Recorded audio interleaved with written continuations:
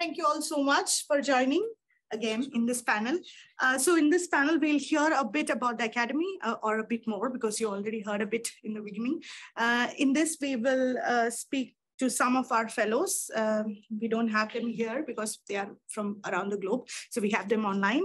Uh, we also hear from uh, data.org on the workforce wanted report that they have created specifically for social impact organizations. We have uh, our trainer uh, mentor representatives, both from Cmotions and from DHL, uh, who have uh, extensively supported our fellows, uh, not just during the training programs, but also uh, one-on-one mentoring sessions. So actually they are just representatives, I would say, because I think a lot of your colleagues also put in a lot of time and effort uh, and uh, yeah, they are representing them as well. And then of course we have Claudia from our team. She's going to talk a bit about our thought process while designing and also some of the feedback that or learnings that we have from the academy. Um, first, we'll have uh, Joanne. She's a project manager of uh, strategic partnerships at data.org. Uh, Joanne, are you here? I am here, yes. Can you hear me? Yes. Joanne, over to you. Thank you so much. And you can share your slides. Yes. Do you see? I'm sharing my screen now. Can you see them? Mm, not yet.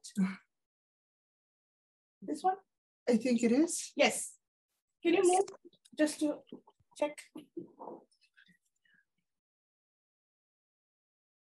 Yes, yeah. perfect. Yes. Over okay. to you, Joanne.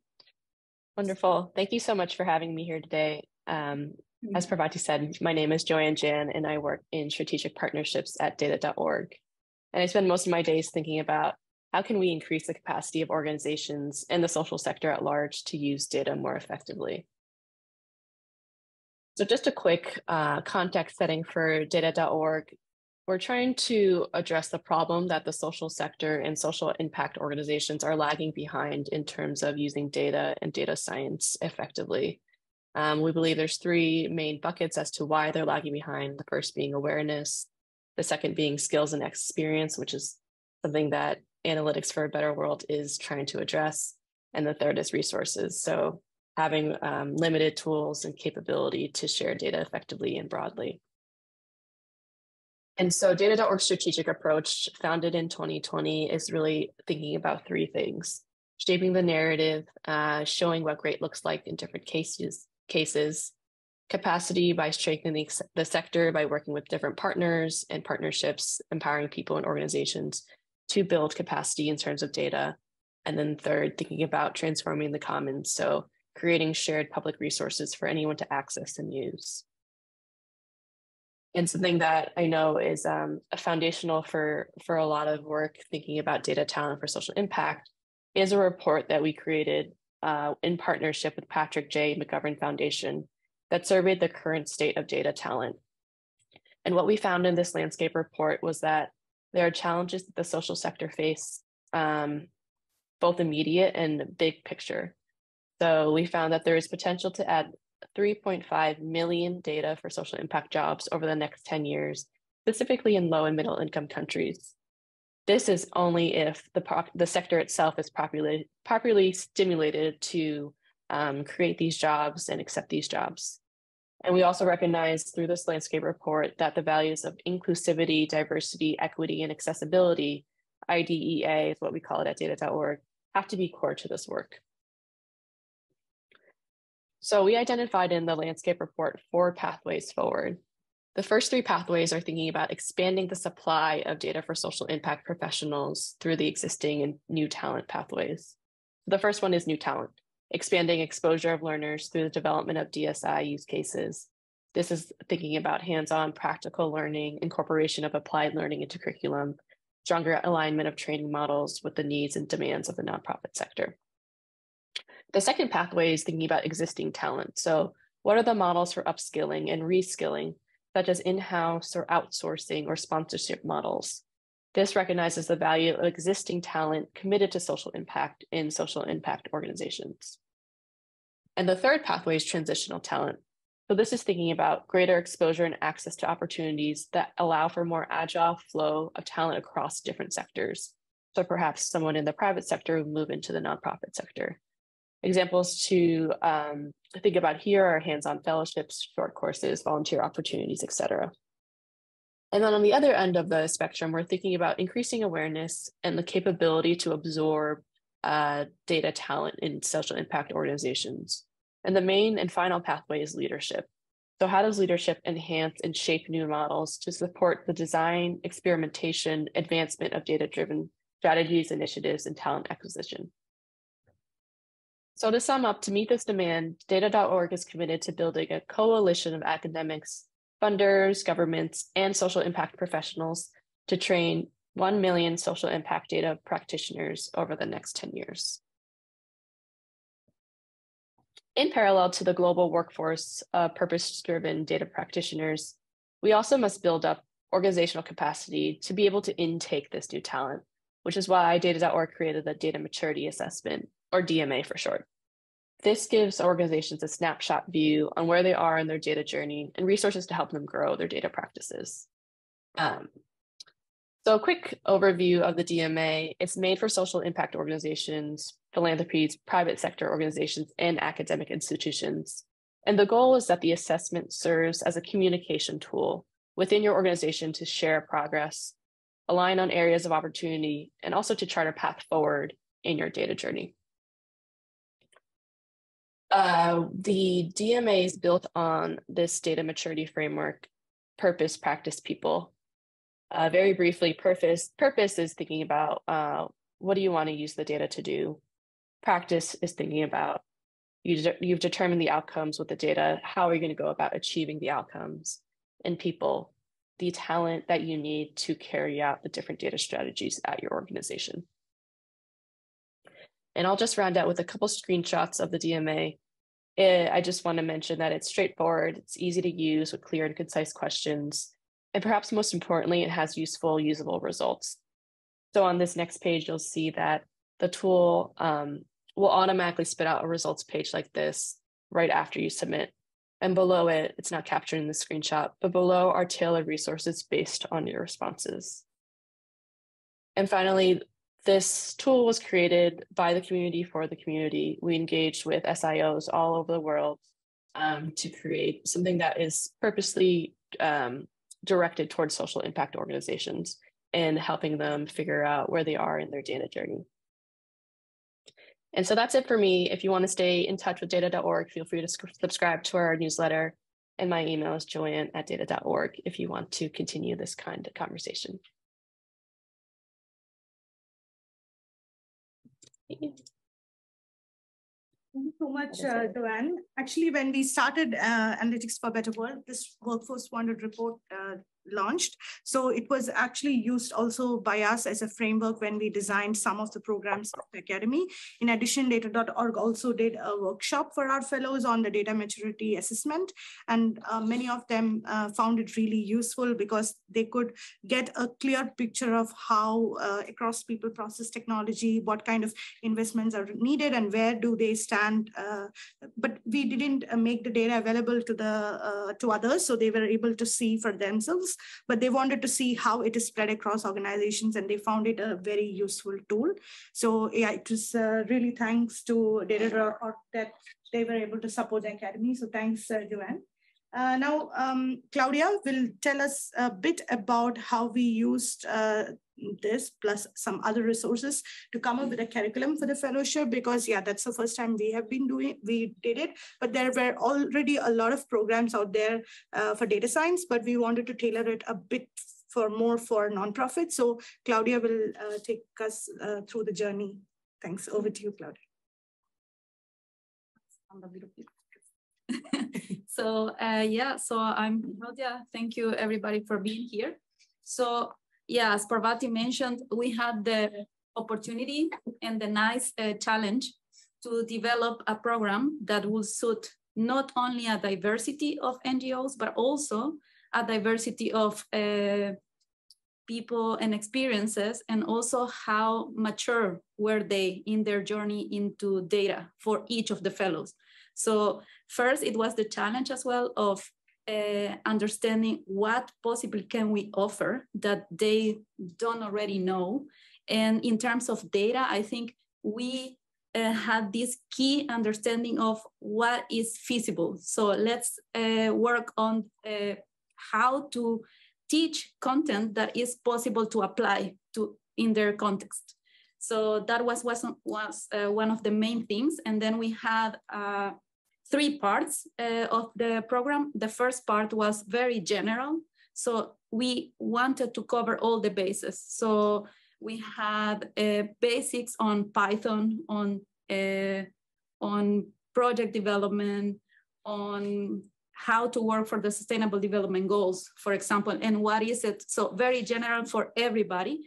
And I would like to also say that the amount of applications that we got was also not only difficult to go through all the applications because of the amount, but also because of the quality and the diversity, not only geographical, but also in terms of what kind of problems they were bringing to the table and how interesting they were to work uh, with. So we really tried to keep a balance from the 300 plus applications that, that we got uh, to reduce it to 40, 40 people, 43 people to be exact, wasn't easy, but we wanted, okay, a balance of projects, but also a balance of uh, people and gender as well, because we are we are also dealing in, in the nonprofit sector with uh, imbalance in terms of uh, gender. And we wanted to be aware of that.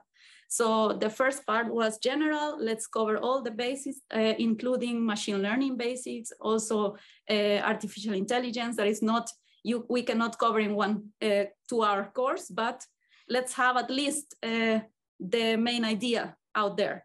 And then we had a very nice dive in into specializations that I think by that point was also nice uh, for the fellows to have had that opportunity in general to decide also what do I want to learn more? Uh, what do I want to dive uh, deep into? And then they had the uh, opportunity to decide either uh, to take machine learning or geospatial analysis or uh, text mining or uh, data mining. So there were four specializations. They decided which one to go to. And, and I'm talking about every week, apart from their full-time job, they uh, engaged in those lectures that for me is still something that I'm really happy about. This was a completely free course. And we had, from the 43 people that joined, we had almost that amount that finished. So I'm one of the main uh, weaknesses, I think, of the uh, courses for Coursera and for all these platforms is that you register, but you don't finish because many are free. And then you think, okay, I can drop out. But in this case, the, it was free. They had their full-time job. They were from all over the place. So really it was not easy to have a schedule that will fit all of them, but they kept joining us. And that was really satisfying for us. And in the end, what was also uh, good was that they were put into a, uh, to a point where they could bring a project that was actually going to be useful to work on to bring back to their organization. So they brought their data, or some brought their problem and also faced the issue of, I don't have data to work with. So let's help them solve that problem as well, at, as much as we could. And I think that's also where the mentors really came into. So yeah, basically that's it. In the end, they were also satisfied to have learned, but also to have worked on a project that they could bring back to their organization. Thank you so much, uh, Claudia.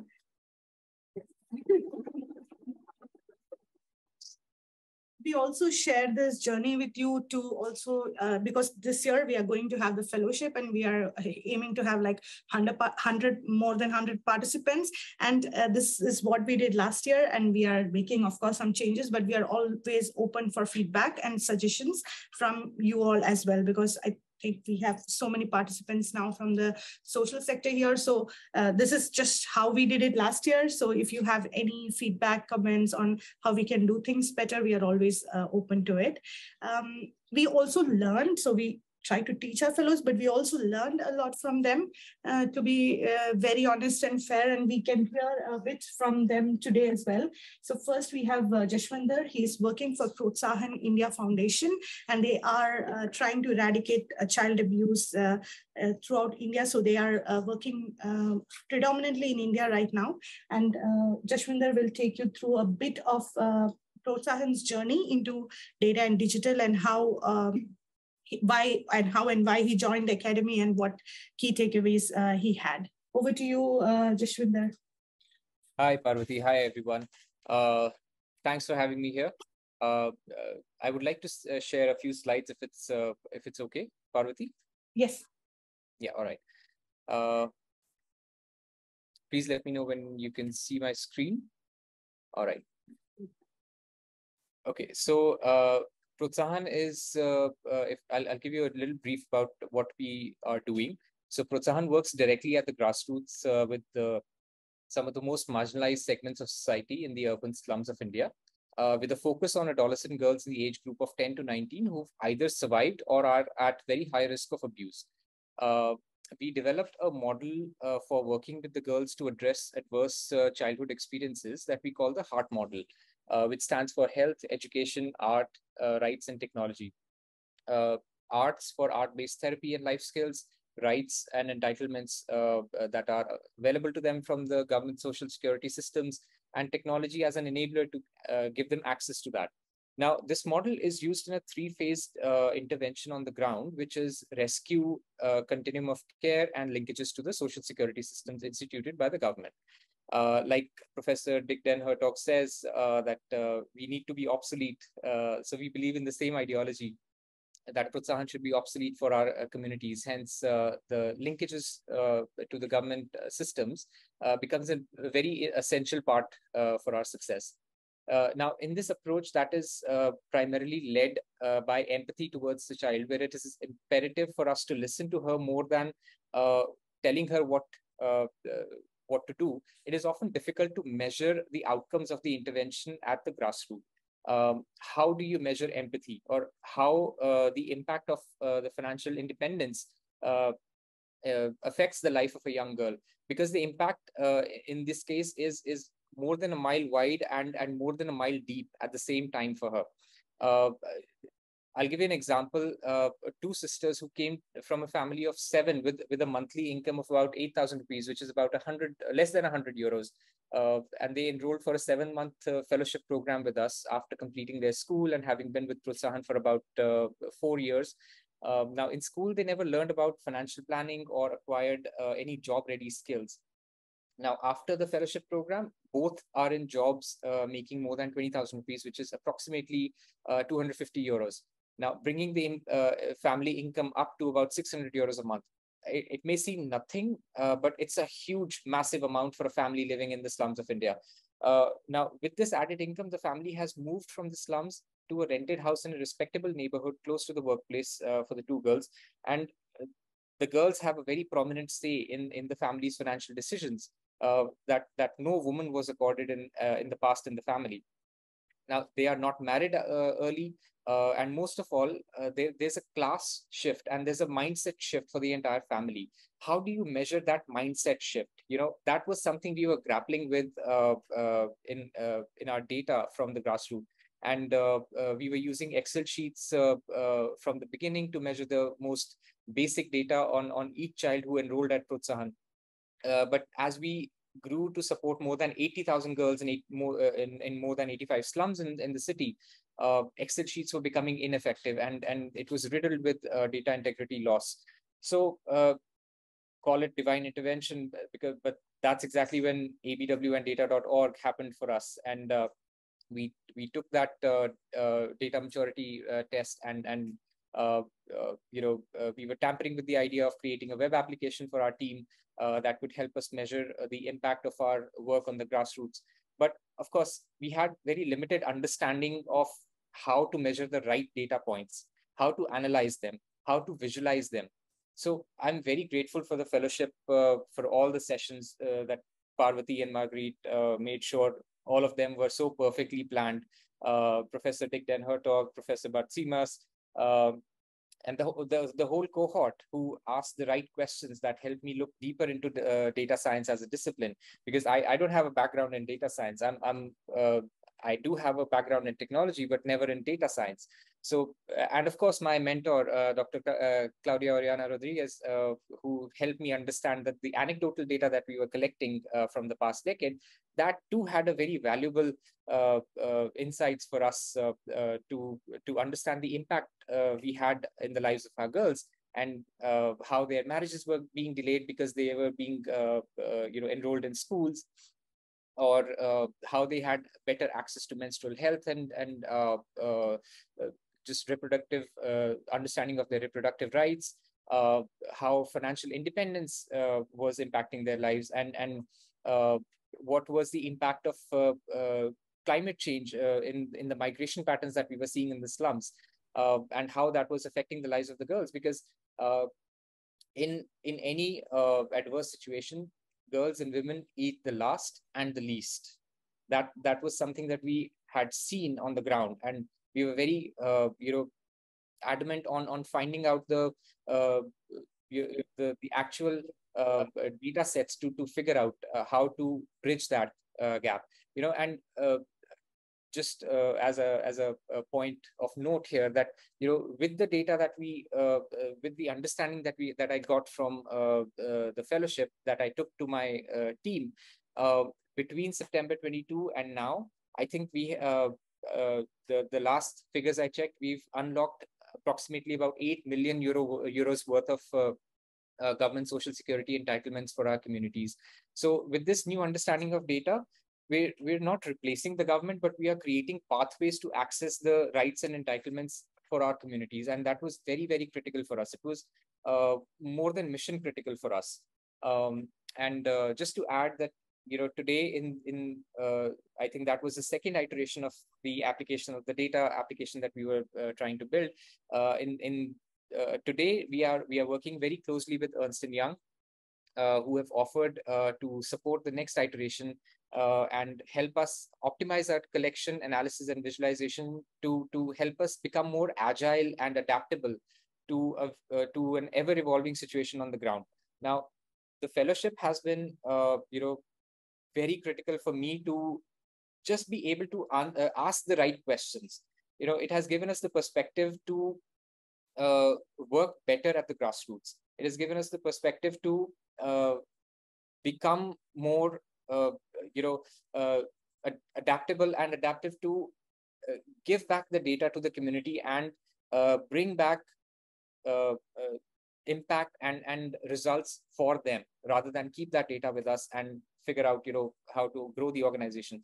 How about growing the communities? How about working with the communities directly and giving them back what the data uh, shows what what the data has in store for them? So that I think has been a very uh, crucial piece uh, for me uh, from the entire fellowship.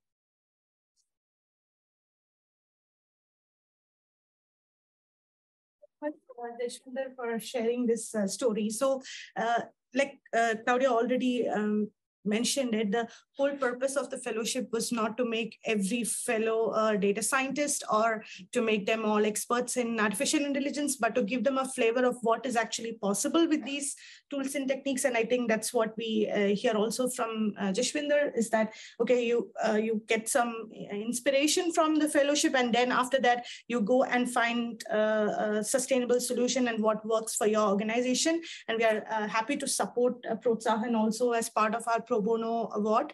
Uh, but there are many follow-up projects where which the fellows have initiated where we are not directly supporting, but we are hearing the stories back and I'm very uh, happy about. So that's uh, the uh, objective of this fellowship.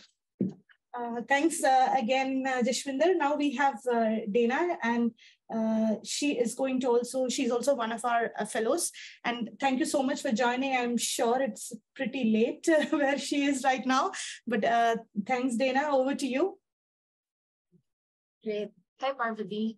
Hi everyone, thanks for having me here. Let me also show my screen. Can you see it now? Yes. Okay, so hi everyone. I'm one of the fellows of the first cohort of fellowship. So I'll just share what we did for our organization and how it impacted us until now. Um, like uh, months after the fellowship already.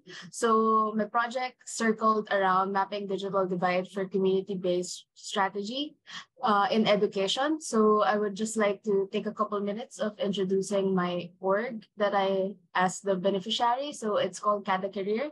So we're empowering the next generation of Filipino workers. It's an education technology platform that addresses uh, how we can get education to employment for around 20% of the youth that are underemployed or unemployed. Um, it also deals with or aims to touch uh, around 11 million Filipinos uh, who are underemployed and needing resources for their career development. So we do have the problem of these three gaps in that we're seeing in the people that we're serving. So there's a gap in exposure, so not knowing what to do after college. Um, and then there's a gap in network and also not knowing who to call or what are the opportunities that are unlocked after um, after they graduate because uh, most of the the good opportunities that we are seeing are actually unlocked by uh, uh, gate kept net network usually. And lastly is a skill gap. So after graduating, unfortunately, because of the trends in technology and also how we're seeing the acceleration of digital uh, careers, the skill is quite lacking um, when they graduate, and we would like to also address that. So in Kada Career, we do have um, these four C's that we are trying to address. So we have coaches in our network to address uh, networking and also skills, but we also have content uh, for more of the exposure and also skills. But in terms of my project, it's more centered around community, which we're trying to bridge with my capstone project for the fellowship. And then lastly is concrete skills. So what we did for uh, my capstone project is from these, uh, so there's a stark gap in education and employment in the Philippines, as you can see in the first column. Um, and also for the next column, it shows the amount of digital divide or the lack of digital infrastructure in the Philippines. Around 75% of public schools here don't have internet at all in their universities, uh, especially also touching the the homes and the regions that these students go after when they get home. So no internet in their schools and also likely in their homes.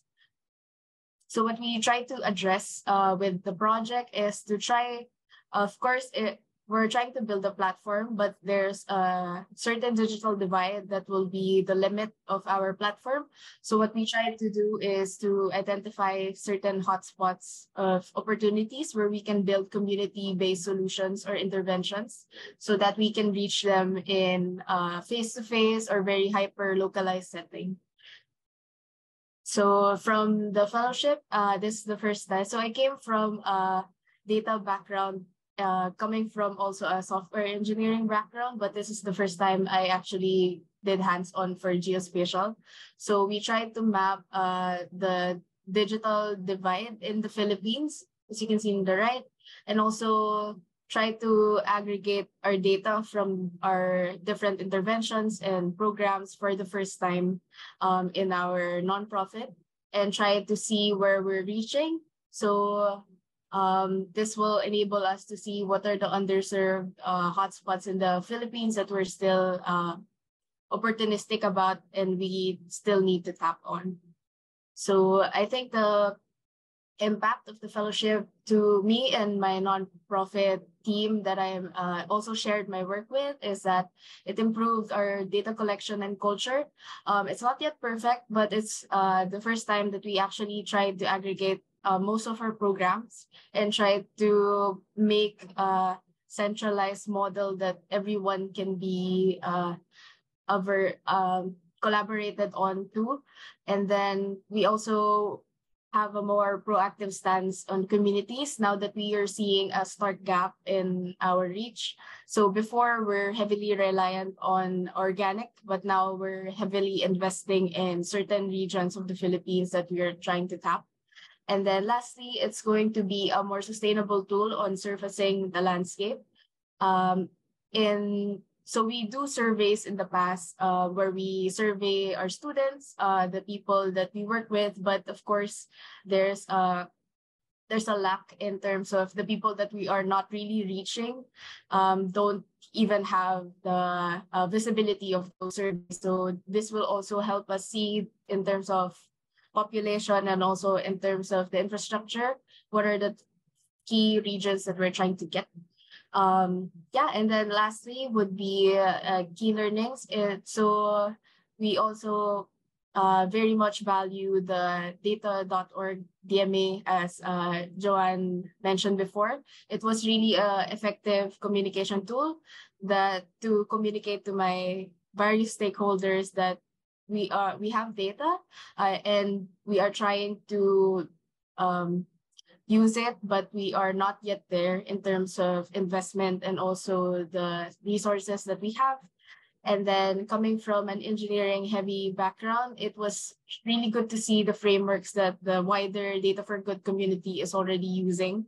Um, it opened up the floor for collaboration and also tapping into resources that are already there so that we can we don't need to do everything from scratch and also see the methods that work and be able to share my learnings also to the wider community was super important. And then lastly was a proactive solution and to really maximize the value and impact of the tool and also how we're strategizing. Of course, this is just a tool. We're also um, piloting another intervention um, actually this year. It has started um, and about to roll out in the next months because of seeing um, a visual representation of, of our programs and what we're dealing with. So yeah, that's it.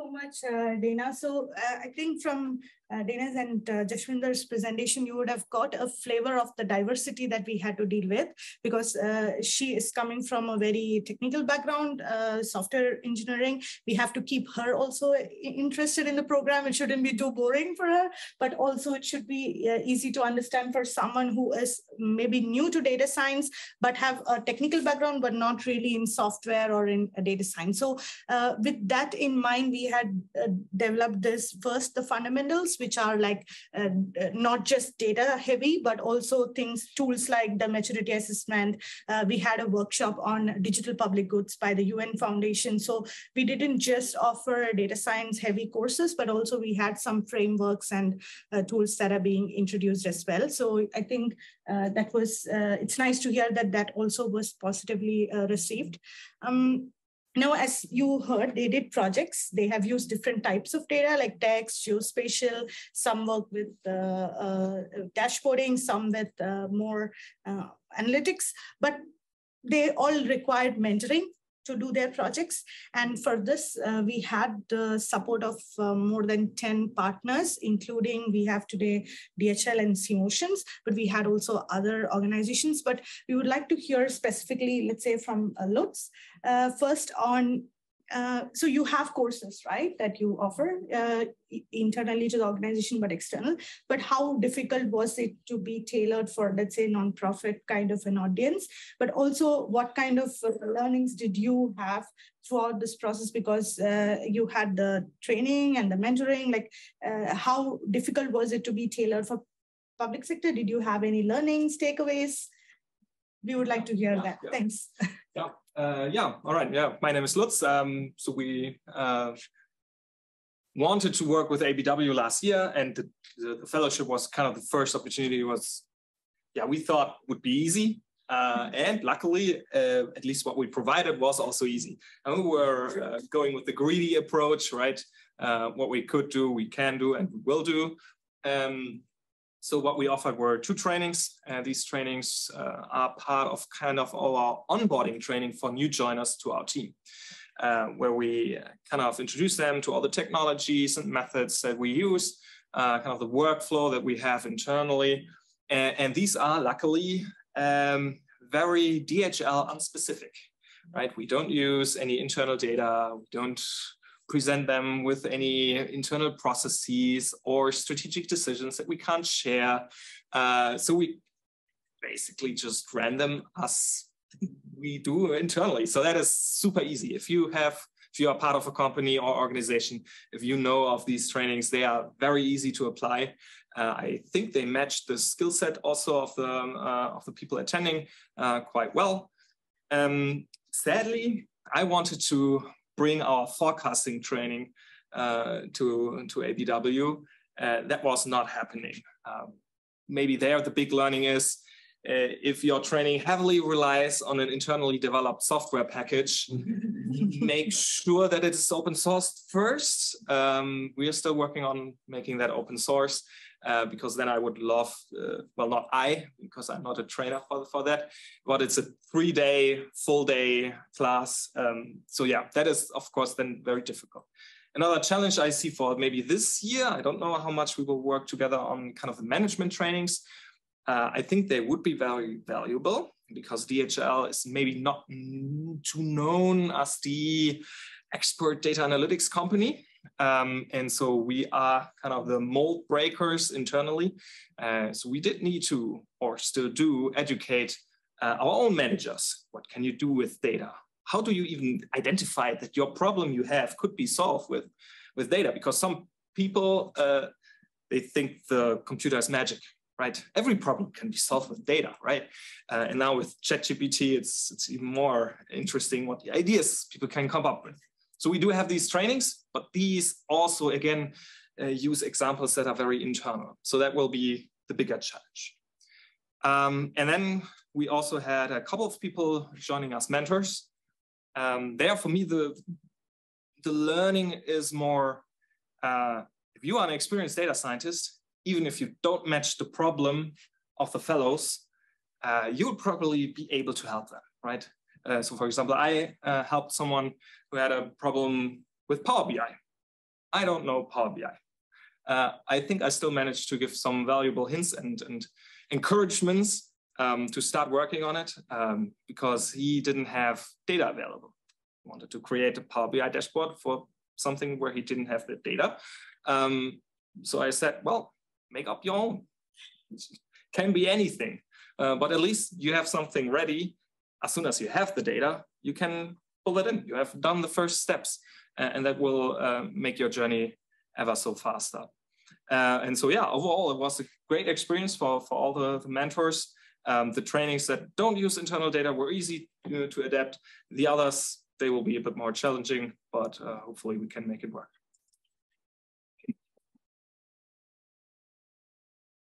So much, uh, Lutz, for your brutal honesty, because this is exactly what we wanted to share with our community as well, that it's not all uh, roses and uh, flowers. It's always, uh, th there are challenges that have to be overcome. And this is also a huge learning for us that uh, mentor matching have to be done um, a bit uh, in advance, maybe also like it is all, not always easy to find mentors for every problem so then we have to be a bit more creative like said like uh, and there is not always data readily available and sometimes the data cannot be used for fellowship because they don't want it to be shared they don't want the results to be shared with mentors or be presented. So um, yeah, we have to be creative and innovative when it comes to projects, uh, but also with uh, licensing because we want to make everything openly available. So these are things that we are now keeping in mind for this uh, cohort because that last year was our first one and we also learned a lot in the process. So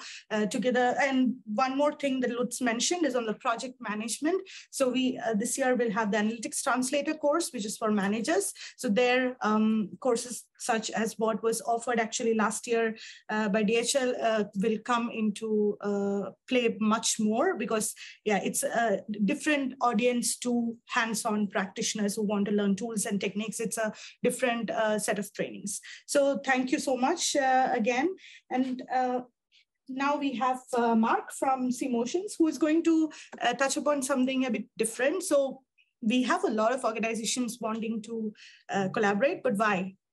I mean, they have a lot of work already. They are quite busy and they are uh, volunteering. Uh, they are offering their resources and time. So it's uh, not a small thing for us. We do value it a lot because we cannot work otherwise.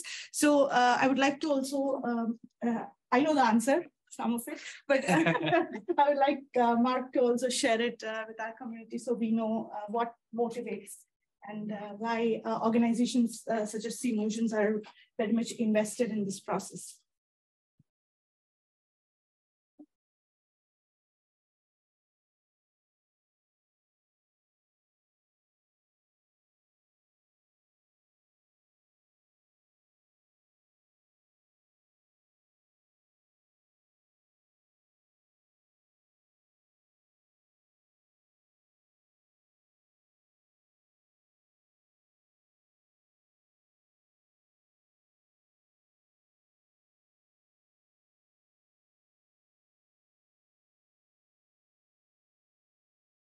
That's would be a shame. Yeah. um, so um, yeah, perhaps a really quick introduction on uh, Cmotions uh, for those who of you who don't know Cmotions. Um, at least as I see it, Cmotions is basically this bunch of people, um, enthusiastic, uh, ambitious uh, professionals, um, basically a bunch of data geeks, I would say, working in all kinds of areas uh, with data, um, with the uh, belief that we can create a better future uh, with data. Um, and we do so for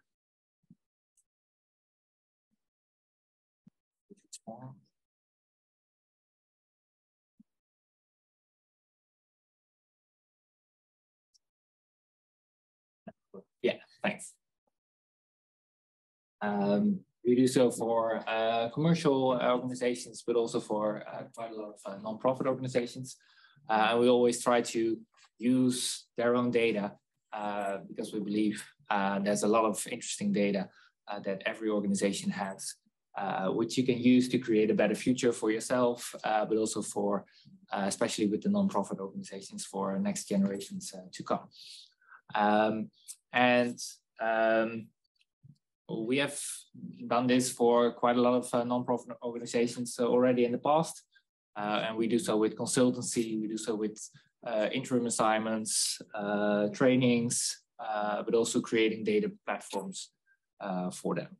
Um, so all areas of data, data strategy, but also really the implementation with dashboarding and, and data platforms, machine learning, whatever.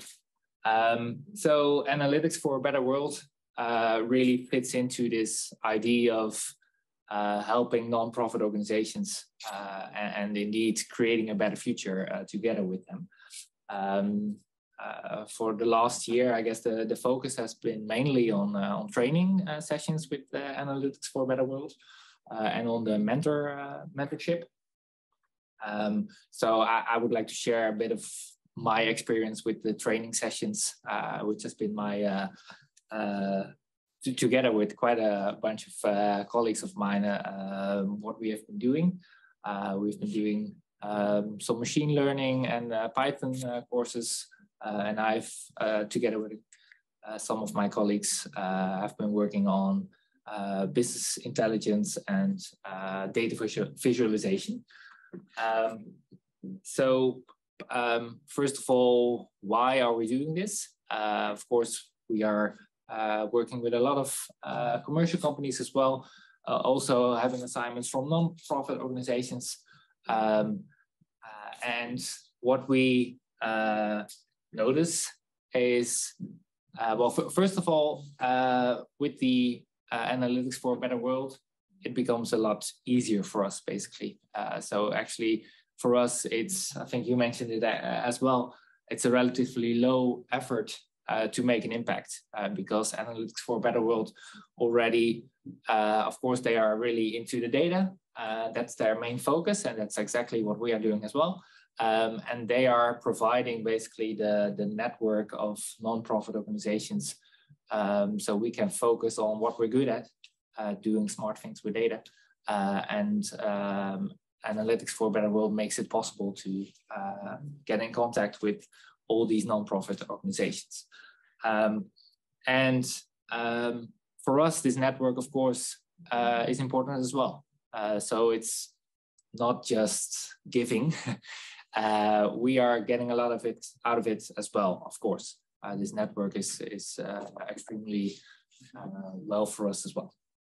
Um, and um, well, my personal experience, but also for uh, for you, I guess, and also for a lot of uh, my, my, colleagues, uh, it's just really um, motivating to uh, help other uh, people as well and to um, give something back, basically.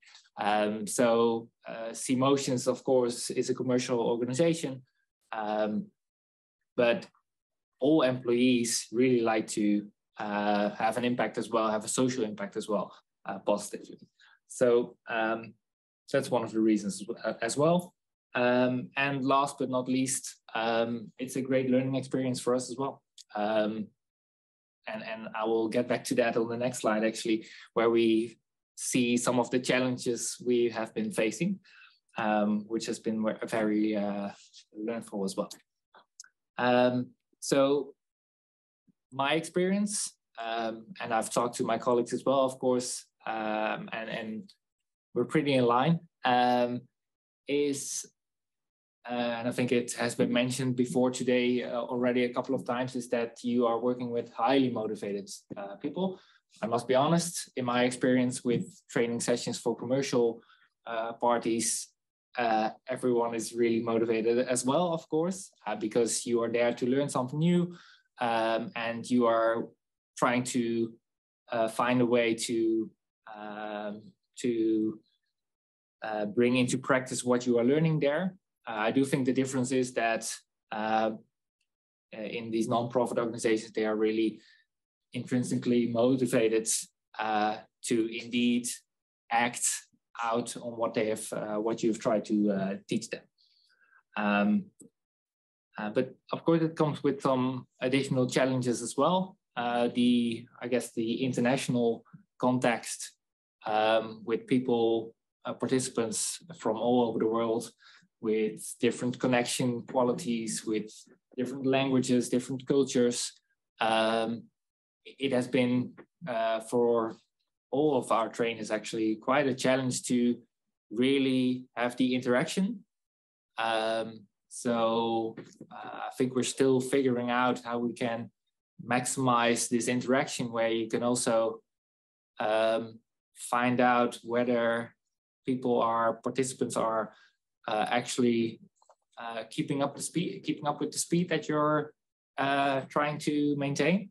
Um, so we've been trying different things with uh, polls online and and um, having them share their Power BI dashboards result, for example, uh, in the chat, stuff like that to to figure out um, whether things are working. And I think uh, every uh, session has been uh, recorded.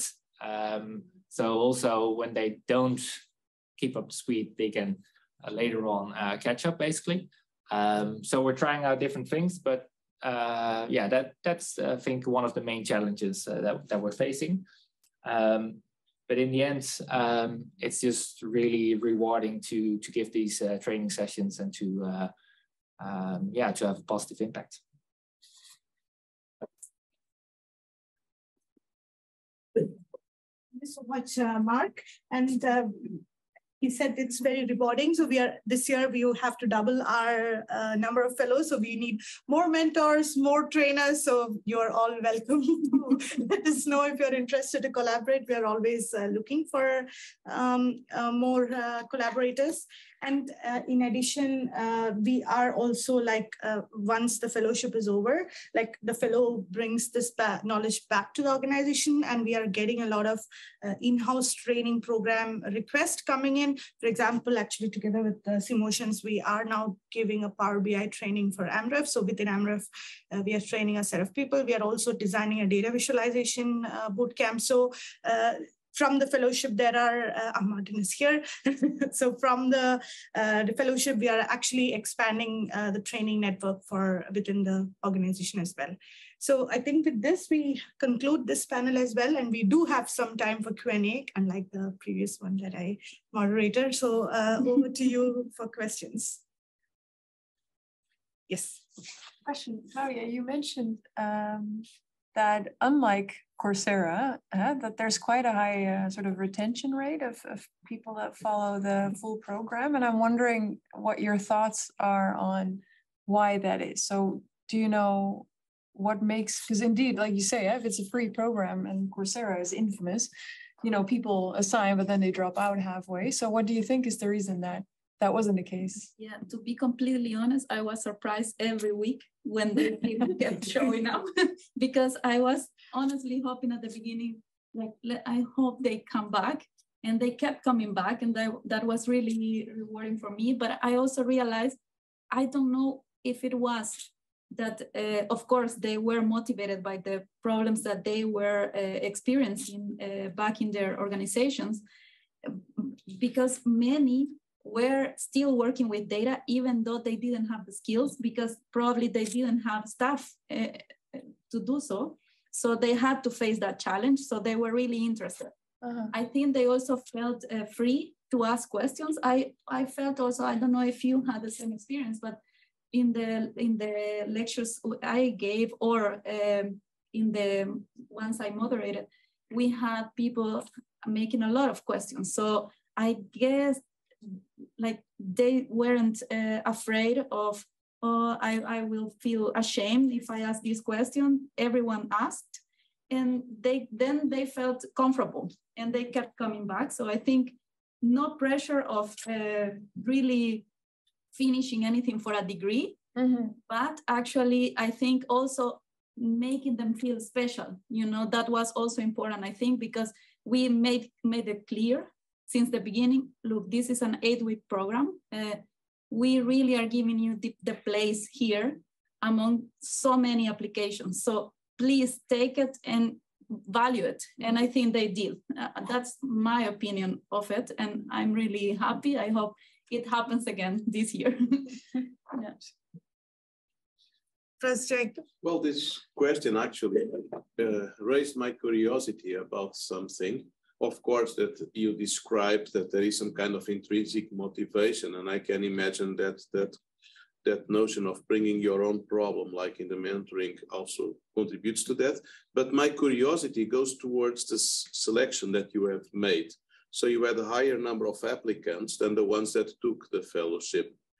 Did you also take any criteria into account that will re would resonate with this amount of uh, let's say, willingness to participate? Uh, was that part of your criteria? That would you measure it somehow? Yeah, so uh, we did ask them specifically in the form. Uh, we are having a lot of uh, applicants, so please do uh, make sure you are interested. Otherwise, please give your seat to someone else because it's uh, free. Let them take it. But we also had a motivation letter, uh, a video interview. Like they had to record a video and send it. And in from the initial 340, we first made a subset. Then we asked them to fill a very detailed survey, and many of them didn't fill it uh, because it was very detailed. Like we asked for this video, for example. Uh, so there were uh, different steps to actually come to this uh, 43. And uh, I think uh, this year we will follow a similar approach that maybe we are not going to do all the applications at once, but we'll have two or three stage process. And this year we are also going to involve our partners in the screening process, like maybe create a panel because um, this year we uh, didn't open for applications, but already we have received, uh, Claudia knows the last count, but in our uh, subscribers list for Academy, we already have uh, around 50 uh, uh, people who are interested. So I think this year we, we are expecting and hoping for more applications. So we'll create kind of a panel and then we'll do the process but maybe that is also one criteria but we are not uh, sure that that is uh, the reason for retention but yeah, could be. Maybe one of the reasons. Thank you. Yes. It's me? Yes. So I, I don't want you to disclose all the secrets, but uh, I'm I'm amazed of of the way you reached uh, so many people in so different parts of the world. So, do you have an idea how the word was spread so that you had those um, number of applications? Yeah, so we are one year old at this, and when the fellowship went live, we were not even uh, six months, seven months in. So uh, we were not very uh, known. But what we did is we reached out, for example, data.org and existing communities. Mm-hmm. So they shared it with their uh, in their newsletters. We had like uh, existing uh, clients of, or Ortec also does a lot of outreach programs. So we asked them uh, to send it to all the nonprofit network that they have. We have University of Amsterdam who uh, supported us in reaching out to a lot of researchers who are also working on research problems.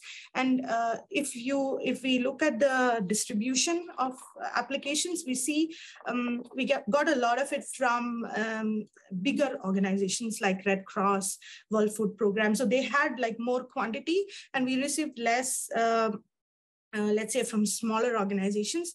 But the good thing was even these uh, big organizations like Red Cross and all have national societies. So we received a lot of applications from their country offices because uh, many of them have their headquarters here in the Netherlands and they are already maybe aware of data, but their country offices have, let's say, less accessibility uh, to these training programs. So that is also one way to uh, reach out, I think. So to look at bigger organizations that have more more uh, national or regional centers. So there uh, we can give them access as well. And um, we also struggled a bit with geographical distribution in terms of our applicants. Uh, so we received um, a lot from africa and uh, europe uh, compared to other regions. Like even asia was uh, not that much. We had a few, uh, but uh, when we made the selection, we tried to create like a, a, a good distribution, even though it is a bit biased. Uh, but uh, mm, yeah, we, we try to do it in the selection process, but reaching out, we uh, tapped into the existing network. But this year we have uh, students like Martha, who is helping us with outreach. we are going to come up with some more innovative ways to reach out to more communities that may not be represented by these bigger uh, uh, groups as well. One brief question. Do you also take the time, the difference of time zones into account when scheduling the sessions?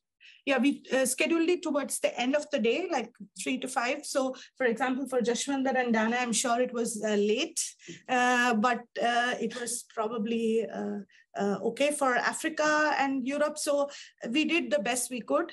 maybe, but, yeah. maybe it would be an idea not to double it, yeah. but maybe to switch the, the, the time from year to year towards a more convenient for remote locations somehow. I, I don't know. Yeah, if because you, you said that people from Africa, which is more or less the same time zone in Europe, that could be related to a. Yeah, that's uh, true. I don't, I don't know. Yeah but we also are thinking of some blended uh, approaches so we'll have some recorded sessions but we don't uh, want to be completely uh, uh that much scalable.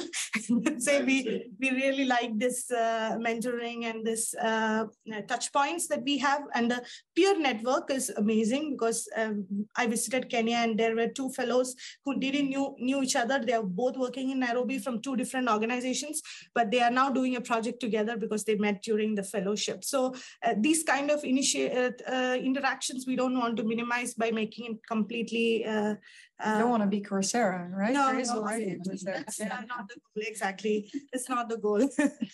uh, so uh, we will think of some innovative ways to do it. And last year we had, uh, especially the optimization one, where we had a lot of recorded sessions and notebooks shared earlier, and the fellows were able to do it at their own slot. And then we had like one hour of session with the trainer to go through the results and then give feedback. So we are thinking of some uh, blended approaches.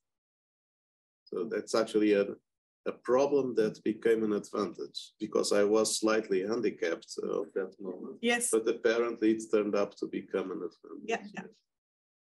Good to know. Thank you. Martha, do we have time for more questions? Um, because we are supposed to go downstairs to take a group picture. Yeah. Uh, but I can hear the, yeah, still. there's- yeah, one more, one Yeah. questions. Maybe if I may ask a last one? Yeah. Based on your learnings from last year, what would you do differently the next one? Uh, actually many things, uh, not one, to be honest. not just because they were not right, but uh, because of the scale. Uh, we had 43 last time, and uh, it's not easy to double it uh, immediately. So uh, mentoring. So last year we had a lot of one-to-one mentoring, uh, matching, uh, uh, how to do it a bit better. So we want to create learning communities. So for example, if four of them are doing a project on Power BI, then a mentor who is good in Power BI can support four of them.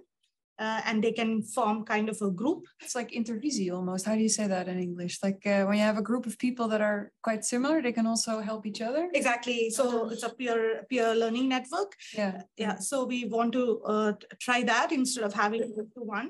Um, uh, Claudia can maybe elaborate a bit because last year we had uh, specialization and some specializations were more uh, attracted more people, whereas some the trainers were uh, equally prepared like the others, but they had let's say less number of participants compared to one. But that's mainly because of the technical uh, requirements. For example, if you want to learn optimization uh, algorithms, then you need to uh, already have some background. But if it's business intelligence and Power BI specialization, it's easy for uh, somebody with a low barrier of entry. So we want to be a bit more um, effective in making these uh, specializations or groups.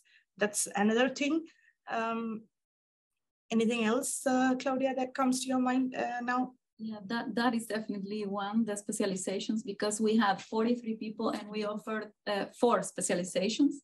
Uh, I think uh, business intelligence, if I'm not wrong, had uh, Oh, yes. a Lot of- good- I had interest, but I was in the text analytics, text mining one, and I really, I, uh, we all, of course, took the time to really invite speakers, and they prepared and everything. And then I realized for one of the sessions, uh, I will have probably three people joining, and I was like uh, trying to invite others from other specializations when uh, the time didn't clash, so that I didn't want the speaker to feel, uh, okay, I prepared, and then three people show up. I think that was uncomfortable uh, trying to okay uh, i mean in the end it worked out. People joined uh, from other specializations.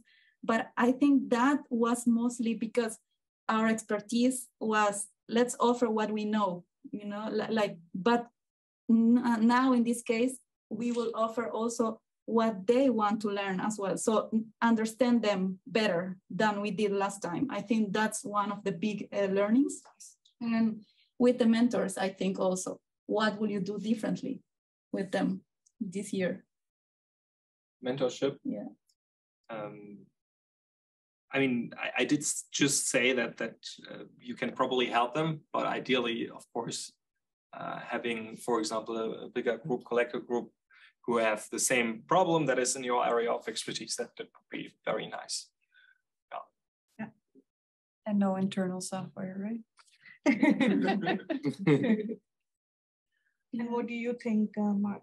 Yeah, I think if you look at the training sessions, uh, what we have done now is quite a uh, general uh, introduction to uh, to Power BI to data visualization. Um, if you would have more indeed knowledge on what they are looking for, what the that that also the trainers uh, know better what the exact problems are that uh, the partic- participants are uh, facing, um, that you can, um, yeah, how do you say that? Uh, define your uh, training session based on that. Now it was a, a rather general approach. Yeah. And uh, this year we did some interviews with the previous fellows, but also uh, they introduced us to people in their organization who are interested to do the fellowship. So we interviewed them to understand user personas uh, better, like what do they want to learn. Uh, the same for analytics translator course. So we interviewed managers at nonprofit to see what do they want to learn, like do they really want to learn Python, but most of them say no, of course. So we kind of made some questionnaire and try to get, gauge the uh, demand. So last year, maybe it was um, bit less demand driven than we would have liked, but this year, yeah, we'll try. Oh, that's how you learn, right? Yes, exactly. Then we are done because Martha is here. no, but uh, thank you all so much, uh, Joanne, Lena, Jashwinder as well uh, for joining us. And uh, yeah, it's it has been a pleasure meeting all of you as well, and we really look forward to collaborating with many of you as well during the this year's fellowship. Thank you so much.